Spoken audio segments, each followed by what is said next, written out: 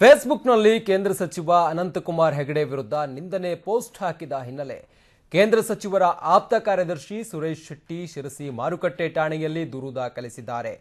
ನಾಡಪ್ರಭು ಕೆಂಪೇಗೌಡರ ಪ್ರತಿಮೆಯನ್ನು ಉರುಳಿಸಿ ಶಿವಾಜಿ ಪ್ರತಿಮೆ ಸ್ಥಾಪಿಸುತ್ತೇನೆಂದು ಹೇಳಿಕೆ ನೀಡಿದ್ದಾರೆಂದು ಅವರ ಭಾವಚಿತ್ರವನ್ನು ಉಪಯೋಗಿಸಿ ಫೇಸ್ಬುಕ್ನಲ್ಲಿ ಪ್ರಜಾಕೀಯ ಹಾಗೂ ಪವರ್ ಸ್ಟಾರ್ ಎನ್ನುವ ಫೇಸ್ಬುಕ್ ಅಕೌಂಟ್ನಲ್ಲಿ ಅನಂತಕುಮಾರ್ ಹೆಗಡೆ ವಿರುದ್ಧ ಪೋಸ್ಟ್ ಹಾಕಲಾಗಿತ್ತು.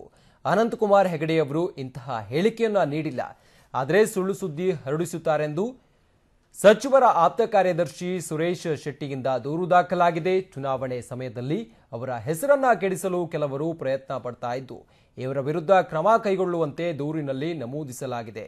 IPC section column five nought five column ಟೂರ ಪ್ರಕಾರ ಪ್ರಜಾಕೀಯ ಹಾಗೂ ಮಂಜು ಪವರ್ ಸ್ಟಾರ್ ಎನ್ನುವ ಎರಡು ಫೇಸ್ಬುಕ್ ಖಾತೆ ವಿರುದ್ಧ ಶಿರಸಿ ಮಾರುಕಟ್ಟೆ ಠಾಣೆಯಲ್ಲಿ ಇಂದು ದೂರು ದಾಖಲಾಗಿದ್ದು ತನಿಖೆ ನಡೆಸಲಾಗ್ತಾ ಇದೆ.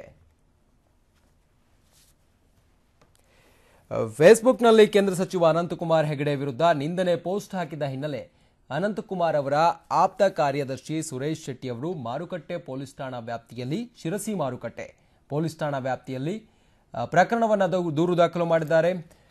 ಪದೇ ಪದೇ ವಿವಾದಾತ್ಮಕ ಹೇಳಿಕೆಯನ್ನು ಕೊಟ್ಟು ಸುದ್ದಿಯಾಗ್ತಾ ಇದ್ದ ಅನಂತಕುಮಾರ್ ಹೆಗಡೆ ವಿರುದ್ಧ ಇದೀಗ ಸುಳ್ಳು ಪೋಸ್ಟ್ ಅನ್ನ ಫೇಸ್ಬುಕ್ನಲ್ಲಿ ಹಾಕಿದ್ದಾರೆ ಅಂತ ಹೇಳಿ ಅನಂತಕುಮಾರ್ ಹೆಗಡೆ ಅವರ ಆಪ್ತ ಕಾರ್ಯದರ್ಶಿ ಸುರೇಶ್ ಶೆಟ್ಟಿ ಮಾರುಕಟ್ಟೆ ಠಾಣೆಯಲ್ಲಿ ಕೇಸನ್ನು ಮಾಡಿದ್ದಾರೆ. ಫೈವ್ ನಾಟ್ ಫೈವ್ ಕಾಲಂ ಎರಡರ ಪ್ರಕಾರ ಕೇಸ್ ದೂರು ದಾಖಲಿಸಿದ್ದಾರೆ ಅನ್ನೋದು ಸದ್ಯಕ್ಕೆ ತಿಳಿದು ಬರ್ತಿರುವಂಥ ಮಾಹಿತಿ.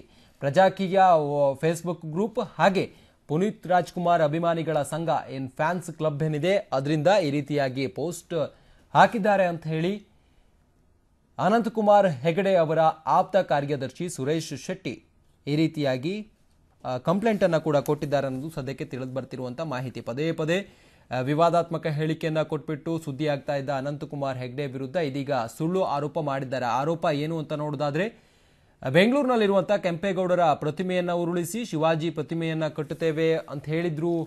ಅನಂತಕುಮಾರ್ ಹೆಗಡೆ ಅಂತ ಹೇಳಿ ಈ ರೀತಿಯಾಗಿ ಅವ್ರ ವಿರುದ್ಧ ಫೇಸ್ಬುಕ್ನಲ್ಲಿ ಅವಹೇಳನಕಾರಿಯಾಗಿ ಪೋಸ್ಟ್ ಹಾಕಿದ್ದಾರೆ. ಹೇಳಿ ಕೇಳಿ ಕೇಂದ್ರ ಸಚಿವರವರು ಅವ್ರ ವಿರುದ್ಧ ಈ ರೀತಿಯಾಗಿ ಹೇಳಿಕೆಯನ್ನ ಹಾಕಿದ್ದು ಸಾಕಷ್ಟು ಮಾತುಗಳಿಗೂ ಕೂಡ ಕಾರಣವಾಗಿತ್ತು.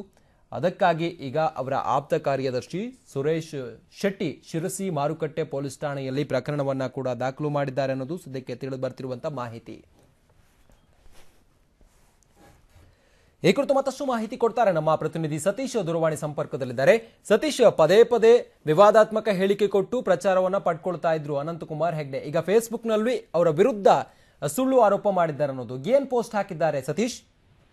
ಏನಾಗಿದೆ ಅಂತ ಹೇಳಿದ್ರೆ ರಂಜಿತ್, ಒಂದು ಅಲ್ಲಿ ಎರಡು ಅಂಶಗಳನ್ನ ನಾವು ಗಮನಿಸಬೇಕು. ಮೊದಲನೇದಾಗಿ ಪ್ರಜಾಕೀಯ ಹಾಗೂ ಮಂಜು ಪವರ್ ಸ್ಟಾರ್ ಎಂಬ ಒಂದು ಫೇಸ್ಬುಕ್ ಖಾತೆಯಿಂದ ಏನೋ ಒಂದು ಕೆಂಪೇಗೌಡರು, ಅಂದ್ರೆ ಬೆಂಗಳೂರನ್ನ ಕಟ್ಟಿ ಬೆಳೆಸಿರ್ತಕ್ಕಂಥ ಕೆಂಪೇಗೌಡರ ಒಂದು ಪ್ರತಿಮೆಯನ್ನ ಉರುಳಿಸಿ, ನಮ್ಮ ಪಕ್ಷ ಅಧಿಕಾರಕ್ಕೆ ಬಂದ್ರೆ ಕೆಂಪೇಗೌಡರ ಒಂದು ಮೂರ್ತಿಯನ್ನ ಉರುಳಿಸಿ, ನಾವು ಶಿವಾಜಿಯ ಒಂದು ಪ್ರತಿಮೆಯನ್ನ ಪ್ರತಿಷ್ಠಾಪನೆ ಮಾಡ್ತೇವೆ ಎಂಬ ಒಂದು ಹೇಳಿಕೆಯನ್ನ ನೀಡಿದ್ದಾರೆ ಅಂತೇಳಿ ಅವರು ಫೇಸ್ಬುಕ್ ಅಲ್ಲಿ ಒಂದು ಅಪ್ಲೋಡ್ ಮಾಡಿದ್ದಾರೆ. ಸೊ ಹೀಗಾಗಿ ಈ ಒಂದು ವಿಷಯವನ್ನ, ಆ ಎಲೆಕ್ಷನ್ ಬರ್ತಾ ಇದೆ. ಸೊ ಹೀಗಾಗಿ ಅನಂತ್ ಕುಮಾರ್ ಹೆಗಡೆ ಅವರಿಗೆ ಒಂದು ಕಳಂಕವನ್ನು ತರಬೇಕು ಅನ್ನೋ ಒಂದು ಉದ್ದೇಶದಿಂದ ಮಾಡಿದ್ದಾರೆ ಅಂತೇಳಿ, ಅವರ ಆಪ್ತ ಕಾರ್ಯದರ್ಶಿ ಆದಂತ ಸುರೇಶ್ ಶೆಟ್ಟಿ ಅವರು ಒಂದು ಶಿರ ಶಿರಸಿಯ ಮಾರುಕಟ್ಟೆಯಲ್ಲಿ, ಮಾರುಕಟ್ಟೆ ಪೊಲೀಸ್ ಠಾಣೆಯಲ್ಲಿ ಒಂದು ದೂರನ ದಾಖಲಿಸಿದ್ದಾರೆ.